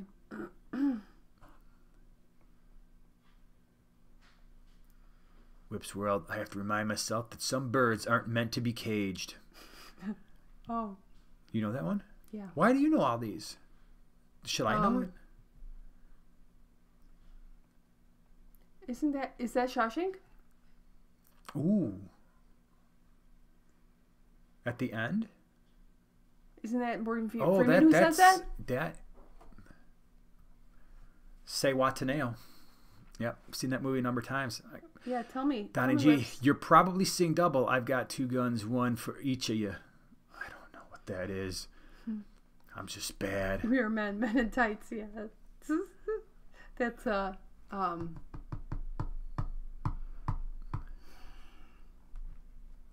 I'm gonna think of that. All right, you think Yeah, of it. Shawshank. gonna. Okay, he said yeah. Okay. yeah, Oh my gosh, are you okay? I I love that movie. I are know you I do. alright? I have to get that. I don't think that was one of the movies I think I have to add back to our collection. I don't know what happened to it. Somebody borrowed it, and now I don't know where it is. I only need to see that movie once and I'm good. no, you have to, that's a movie you could watch weekly. Oh my I really gosh, do think no, so. so Andy. Dufresne. Why are you being so obtuse? No. All right, let's see. Says prime material for 2022 April Fool's video. Care and keeping of the f- the fern fish. you know what? Don't tempt me, man. I might just do it. Yeah, I still I still get comments because now, you know, not everybody realizes that was an April Fool's thing that we did last year about the smallest fish in the world. If you haven't seen that video, you can go check it out. But I did a whole video on the smallest fish in the world, and I, there were people who were pretty upset, hmm. like, "This is a scam. This isn't real." I'm like, "Yeah, I know that," but then you watch it like six months after April, excuse me, after April Fools, and they're like, "I don't see anything." I'm like, "No, you don't. Check the date when the video is released." Classic. I will answer a few more, a couple more questions. I think Delta Charlie, member for ten months, months. Thank you so much. So, so So I know this isn't your preferred lighting tonight. Have you ever thought about dimming the four foot tanks behind you? The glare always bugs me. or the gl- is it the glare or the glow off the shoulders? Yeah, that could There be is it. a there is a glow. Yeah, it is a little bit glary. Is it as bad? I don't know if it's as bad as when we have the. I'll have to go back and look. Um, at least it would be nice if we could do something. I'm just looking at the other screens to kind of dim that down a little bit. We'll have to, if, you- if our we'll have light to would work on that. if our light wouldn't have busted and you had to go to Plan B. Yeah. We'll have to work on that, DC, otherwise known as Delta Charlie. Delta Charlie. Uh, Lydia says, I was thinking a mystery snail, but I'm not sure yet. So I, I don't think I quite finished my thought. One of the things that you might want to consider doing, if you know you're going to set up a 10 gallon betta tank, do all the other inhabitants first and then put the betta in. So the betta doesn't necessarily think, okay, this is mine. Now I've got these intruders here. I think I need to destroy them. Mm. So that sometimes helps. Not always, but sometimes. Snowball says, I have two mystery snails and they keep laying snails, but they never hatch. Is there a special thing to do as they hatch, or are mine just not fertile? Um, most likely they're fertile if they're laying the eggs. The, the big thing with them is to keep the egg clutch moist. So I believe Life with Pets, right? Was it Life with Pets that did a video? She had a special little Tupperware thing that she does with like moistened, um, I almost said toilet paper, uh, paper towels, and she pokes holes in the top. I think it was Life with Pets that did that video on how to ensure that your mystery snail eggs hatch. I never had to do it because, for whatever reason, in our mystery snail breeding Was it lab tank, snails? maybe it was lab snails. Yeah, it could have been. I don't know, check one of them. Lab snails, L A V S, lab snails, or Life with Pets. One of them. Now that I think about it, I think it was Lab Snails. Did a video on that where I thought it was really well done. It was it was simple. It was to the point. Uh, I never had to do that because in our 20 gallon, for whatever reason, they like to lay them on the underside of the lid. And because you got the sponge filter up there and enough of the water is hitting the lid, a lot of those eggs would hatch. And then in your tank, they were laying them right above the water line. Mm-hmm. We didn't make a big deal of trying to keep those egg clutches, and now they've stopped because I wish they would. I wish they would do some more because I would like to actually make a because those are the magentas and I like those. Yeah. But we had a couple egg clutches there hatch too, so it's just a matter of keeping them moist enough so that they hatch. Let's see.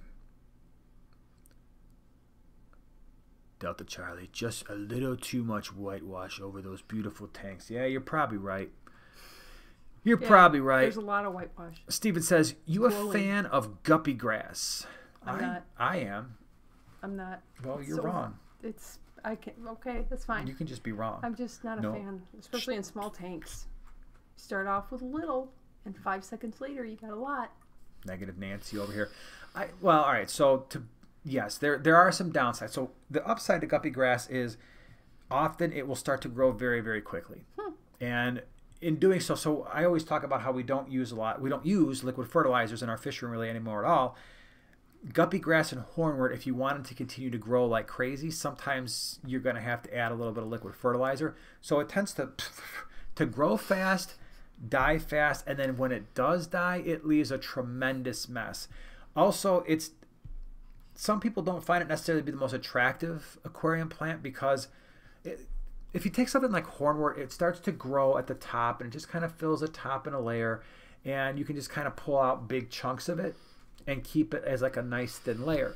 With guppy grass, and we do have some tanks that, that grow a decent amount of it, it just kind of spreads all over the place. And so it's it's a little bit it's a little bit more haphazard looking, in my opinion. Shane is now a prime timer, primate, prime time partner. Thank you so much for being here. Glad you're here. Cool. Hope you like the experience. Yay. Um. Oh wait, no, I got this one. Do you? I to see aquatics. I hate oh. it when my Schwartz gets in a knot. Oh, space May the Schwartz be, be with, with you. you. I wanted to say the name. I finally had one. I was like, boom, I got this. Spaceballs, this is easy the magnet, Spaceball, the okay. Um, how about this? The toilet paper. Spaceballs, the lunchbox. merchandising. Merchandising. Merchandising. Okay. All right, you ready? What I want from each and every one of you is a hard target search of every gas station, residence, warehouse, farmhouse, hen is house, Men in outhouse. Black? Men in Black, right? No. No. Outhouse and doghouse in that area. No, but. But what? You're close. How can I be close? I know, different movie. Why would you? Why would you think it's uh, Men in Black? Is it Independence Day? No. I don't no. know why. Actor who said it. I would have thought it would have been what's his face. Tommy Lee Jones. Yeah. It was. Fugitive? Yeah. Okay, yeah, Fugitive. That's a good movie. That was All right, fun. I got that. Oh man, All right. Rip, you're like you're like 15 and Yep. zip. Hey, I got, I just got that one. No, you got the of. DeLorean one. Whatever. Huh. Uh, Amanda says guppy grass ends up everywhere. Yeah, it, It certainly I can. agree, It can. And the other thing too is if you've got a filter with a, a fairly heavy flow, it, it does kind of blow all over the place too. To the count of 10. 1, 2, 10. Pew pew pew. That's Home Alone. yeah. Noel says just bought my very first floating plants this past week What? at my local fish store. What kind? Salvinia, I think. Nice. or so labeled. minima? So excited. Any issue in my tanks with hang on backs with surface intake titles? So is there going to be any issues with the Salvinia? Do we have any Salvinia back here in one of these No. tanks? No. Is it big or is it small? It's medium. It's uh just uh um how would you know it? Um Well, I, I think I remember your floating plants yeah, video. it's similar So to the red root floaters. so that means strong flow is probably not going to be ideal. Mhm. In terms of it getting sucked into the surface skimmer, I think it's too big, right? Because it's, it's bigger than duckweed from what I can remember, right? Now yeah, when I had um my uh, bear paw tank, when I had the um floating plants overrun and I had to remove all of them, uh Salvinia wasn't one of them that I had an issue with. Floating No, the it's mostly duckweed, yeah. Giant duckweed and the Riccia So most likely the Salvinia is going to grow around the perimeter away from the hang on back. The it could, I mean, it, yes, you're probably going to have a situation where it kind of butts up against that surface skimmer a little bit, but might. then it's just it's like okay, well, it's just sucking more water from the bottom of the intake, which is probably what you want anyway. So it'll be okay. The the problem, well, what size tank was that? Did, did you say? I don't remember. Uh, first floating plants. If it's a Tidal 35, that becomes a bigger pain because I have that problem in my 50 gallon low boy where I've got a lot of duckweed and stuff, and just inevitably it gets stuck in the because the the Tidal 35 doesn't have an intake tube. It's just got kind of like a big giant surface skimmer looking thing. So that becomes a little bit more of a pain. Fish fan, 20 gallon long. Thank you for the thummy. The Thank you for the red thummy. Appreciate it. Thank you so much. All right. Let's do two more. We're going to do two more. We're going to call it a night. We'll all go night night. Okay. Yeah. Let's see. I'm scrolling. Oinkmaster says, uh, remember that fly swatter thing from Gremlins that the dad invented? Yes. The We mini need version that. for us? Yeah, we need I that. remember that one. Yep, we need it. I think I only saw because it's getting once. way out of hand here with these little bugs. T Disc Farmer, y'all folks have any recommendations on aquarium tops for a 10 gallon Betta and Betta and Co tank? So I don't know what that tank. I don't know if it's a standard tank. I mean, if it's a standard 10 gallon, which I'm assuming it's not. If it was, you can just go buy a 10 gallon lid at Petco, PetSmart. They're not terribly expensive. We use, and I I know what you're going to say, so you can you can do your little hack here in a second. I use a lot of polycarbonate, which is greenhouse siding. You can just cut it basically with a really strong pair of scissors. Get the eight mil size, 'cause it's a little bit thicker. You can cut that to size. Your hack for especially the 10 gallon was what? Dollar Tree frames, 8 by 10 frames. Get a couple of them and duct tape them together, or there's lots of different ways you can attach them. Um, just you have to be careful, obviously, and the glass is much thinner than a normal tank lid would be. And you got to look at duct tape. And well, I mean, if you don't mind that, I mean, I'm not. it- depending yeah. on the type of uh, tape that you get, it could quite possibly match your frame. Yeah, that's true because I guess you could do like different. You don't have to do silver duct tape, right? No, you, do you know how many duct tapes there are? There's like pretty sweet duct tapes out there. Didn't know you were. A, stuff. learn something new every day. Apparently, this one You over here that? is a duct tape connoisseur. Oh, adhesives and uh, tapes. Count me in. That's your thing. oh, yeah, that's part of like Could you imagine? My tape. my main hobby and interest is tape.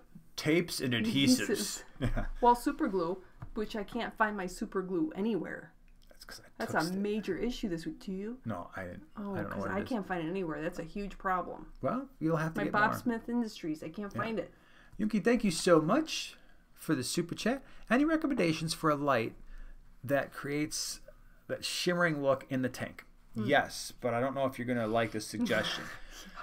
Start The- saving. Yeah, start saving. Um, we I did a video a while back.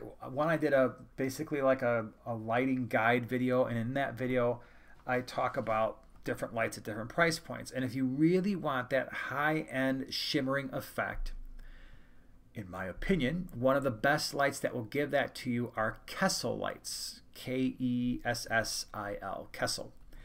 They are high end. They are expensive. I did a review on the Kessil Tuna freshwater light. We have two of them going in a 75 gallon tank right now. That setup, if you were to try to replicate that setup in a four foot tank, would run you north of 700 bucks. Now, if you've got a much smaller tank, like let's say like, oh, I've got a 20 gallon, well, then you're only going to be into it for like 300 because you'll only need one of those lights. So basically, you need more or less one Kessil light to illuminate about three foot of space. So if you were running a six foot tank, it's even more expensive. You're north of a thousand dollars because you'd probably want three of those Kessil lights either hanging from the you know a ceiling, or they have like the gooseneck thing. But when it comes to shimmering, those lights absolutely will give you that, but they are not cheap. So when you see that shimmering look, for the most part, expect to pay some money. Kessil, that's the way to go. Kessil. Mm-hmm. Let's see here. Whoops says, scroll up and see what you think about Alice B's question. All right, can you scroll up and see what you think about Alice B's question? Um, where is Alice B's question? I don't know where it is. Let's see who's going to find it first. Probably not me because I'm uh, bad at scrolling. Okay. All right, Joanna's going to try to find Alice B's question, and I'm going to look at other questions, and together we'll figure it out. Oh, here we go. All right. All right. Can I keep my Saratoga um, arowana in a six foot, 100 gallon tank forever? Or will I need to update tank? He's a baby at the moment. I want to add a couple Oscars or Severum. Thoughts? Okay. I don't know. Hold on. My, my initial thought is um, there's a bug on my head. Wait, Saratoga Arowana. I just want to see overall length because are these. Oh, the, Jardini. Okay. I, I just. Hold on. My initial thought is you said a six foot 100 gallon. I would say probably not because they're they usually get pretty large from what I can remember, right? Mm. Grows to the length of 30, yeah, 35 inches. Holy cow. Yeah, I thought they those. I just I didn't want to say something stupid. So if the Saratoga arowana that you're describing is better known as the Jardini, no, that fish is going to need an absolutely massive tank at close to three feet long. Um, you're probably looking at I'm thinking like an OFR Ohio Fish Rescue type tank where you'd, you'd have something. It doesn't have to be very tall, but you'd probably want at least at least a minimum of a tank that is three feet wide, so it's easy for it to turn around. At least, if not wider, and at least in terms of scale to look right, ten feet long would be would be what I would feel comfortable with uh, keeping that fish in long term. So. Mm-hmm if we're talking about the same fish, and I think we are, but yeah, for sure. Mm-hmm. Paul spelled out Kessel. I like it with the dollar signs in there. Yeah, they're expensive, and I think yeah. I misspelled it when I said it too. I think I said IELTS mm. EL, but yeah. So yeah, I, I don't. If the, if it's a Jardini, it really does get three feet. Ten foot by three foot tank would probably be the way to go. All right, let's see. We'll do one more. One last awesome question. And let's see what we got here. We're going to do one more. Ah, let's do this one. The fish lover. Can someone help me with a dwarf Mbuna stocking a 75 gallon? Heck yeah. That's that's going to be a cool tank. 75 gallon dwarf Mbuna. So the trophy is. Rusty cichlids. I know yellow labs aren't super super tiny, but those are the those are my three go-to combinations. They're not super aggressive. They're going to be great in a 75 gallon. You could do six of each to start out with. and have an awesome tank. That's how I would roll, just for right now. Ray says, tank mates for rainbow sharks in a 40 breeder. I generally only try to keep one rainbow or red tail shark in a tank at a time because they start to get pretty rough on one another. Uh, so I consider both of those fish to be fairly aggressive. I prefer to keep them with South American type cichlids. So I've kept them with Geophagus without any issues. Severums, um, like firemouth type cichlids. So I tend to go that route. Uh, could you do maybe some rainbow fish, something that moves a little faster towards the top of the tank? Probably, but nothing slow moving, nothing that's community types. Certainly towards the bottom, you could find that rainbow shark harassing things like cory cats. Uh, any type of live bear is probably going to get whooped. Um, maybe like a gourami, like larger gouramis might work, but yeah, those those guys can get pretty mean. Mike, thank you very much for the super chat. Thinking about getting an acrylic tank, never had one. Is it worth it in the long run in terms of the acrylic surface wear and tear? I don't have acrylic tanks, so I only have glass. Well, I shouldn't say that. We have a couple of small acrylic ish type tanks, but nothing large. The main draw for acrylic tanks is the weight. So that's I think that's what a lot of people like. The weight and the fact that I, I guess for the most part, you don't have the issues with the seams, you know, because of the way that they're sealed. Uh, they tend to be something where if you're going to get a really large tank, a lot of people prefer the acrylic tanks over glass, both because of the weight and because of the potential durability of where the the panels are meeting. But if it was just a standard tank, I just go glass. But that's just me. All right, everybody, we have surpassed our time. Mm. Uh, thank you so much for being here. Thank you for everybody for all the super chats and stickers and all the moderators that were here hanging with us today, keeping keeping things going. Thank you for all the movie quotes. Yeah. I'm gonna work on it. Next week I'm gonna try to get a little bit better. Boy, boy. Yeah, I'm gonna have to practice. So this week I'm just gonna watch a bunch of movies and then I'll get, just I'll just them. know them all. That's yeah. what I'm gonna do. There you go. But thank you so much. Really appreciate it. Hope you have a great rest of the week, and we will see you next Wednesday, same time, same place. Thank you. See you next week. Say bye-bye. Bye. Bye-bye. And that